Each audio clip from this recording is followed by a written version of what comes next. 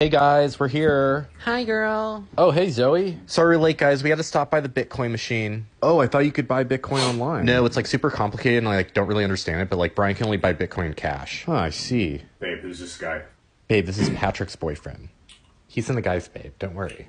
Yeah, Brian, I think we met before uh, a couple of times. Yeah, sorry, Joey. Brian's not very good at faces. Can I ask you like a huge favor? I need to go pee so fucking bad. Can you tell me where your bathroom is? Yeah, no problem. It's down the hall, but I want to let you know I'm reorganizing my medicine cabinet, so all my medications are on the counter. I'm really sorry about all the clutter in there. Babe, I gotta go.